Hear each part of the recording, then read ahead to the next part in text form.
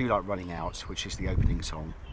Um, and it did have a longer chorus when, when we wrote it. Um, and it, it kind of went, and I think that I'm running out of patience. And we just took the end off because um, it just sounded like uh, more hip, like that. It's quite dark, the melody, I think, and it was kind of influenced by Tiga.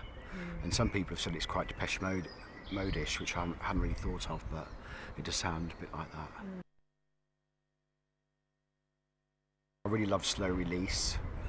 I was just saying it's kind of quite a repetitive chorus, but there's one point in the, in the middle eight of the song when there's a, there's a really high note and it lasts till the end of the song. And I just and I just did that it just came out and lasted without a breath and I was going like God.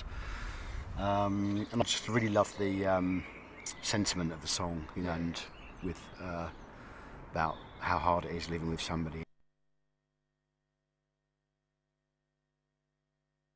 Well, the idea with, of working with Perry Farrell and from Jane's Addiction was he really loves electronic music as well. He, yeah, and so I think he just wanted to try something that was different for him, yeah. you know. And it was it was really great being in the studio with him because um, he's quite dramatic as well in, in his own way. And um, I saw the video for Dog Star Girl. I think that was on his own, and um, and I just feel you, you, always you kind of feel like you have an affinity with some people. I'd heard that Perry came to see me at uh, when I did True Colours solo, um, which was for uh, Human Rights uh, Coalition before Obama was um, elected in the US with Cyndi Lauper and Debbie Harry and B52s and lots of other bands. And we went for dinner and and his wife was the most stunning woman that I've ever seen in my whole life. You know, I was like, wow.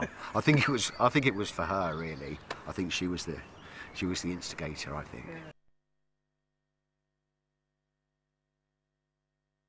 DHDQ um, was uh, is a song called Debbie Harry Drag Queen, which is a bit of a mouthful, and I was a bit nervous of the song because I didn't want people to think I was calling Debbie Harry a drag queen because she's not, you know. And I, but to me, she's the queen of the drag queens, so and she's better than anybody else. So really, it's a song to her.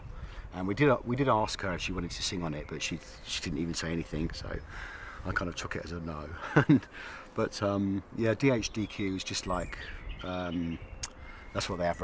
That's what boys have written on their pants instead of the name. So I thought it would be quite good.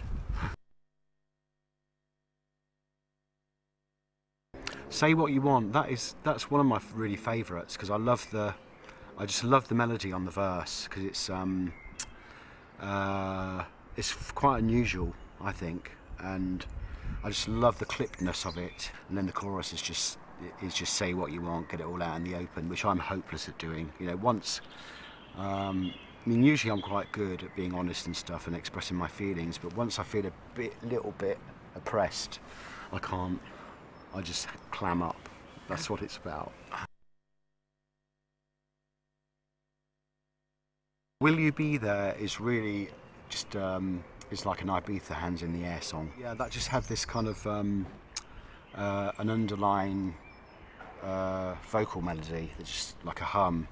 Went, mm-hmm, and it reminded me of, um, of a song called Black and Gold by Sam Sparro, is it? Um, yeah, so it's a bit, it's a bit sort of like a trendy kind of funky dance tune, really.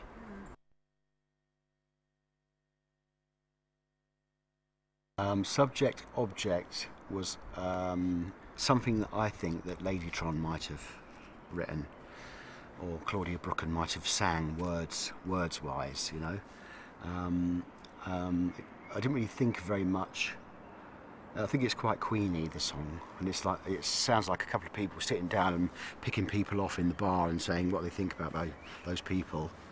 Um, and I just like the th like the chorus. Or you could be my favourite subject. You could be my favourite object because it's kind of making them both. I love um, touch. Um, it's kind of it's quite angry and quite sort of punkish song.